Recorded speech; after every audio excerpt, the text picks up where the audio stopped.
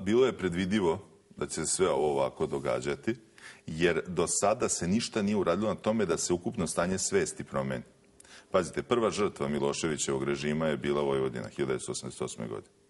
I ta priča o tome da je Ustav iz 74. nije valjao i da se zbog njega SFRJ je raspala, ja moram podsjetiti da dok je bilo Ustav iz 74. dotle SFRJ je postojala. Ona je počela da se raspada kad je prestao da se poštuje, a prestao da se poštuje protiv ustavnim pučem u Vojvodini učinjenim 6. oktobra 1988. godine.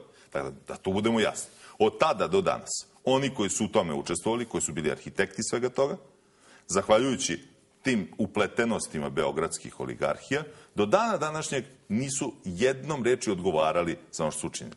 Vi imate situaciju da e, par desetina ljudi odgovara u Hagu za stotine hiljada mrtvih i miliona uništenih sudbina.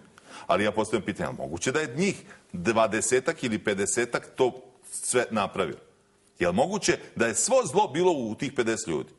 Šta je bilo sa lustracijom o kojom smo toliko govorili? Ja sam stalno insistirao na lustraciji zato što ako bez lustracije ova zemlja ne može da je dalje. Onda su mi prvo govorili sad nije realno, a posle su rekli sad je kasno. A suština je sledeća. Niko da neće. Da je bilo 6. oktobra. Neće da uradi lustraciju.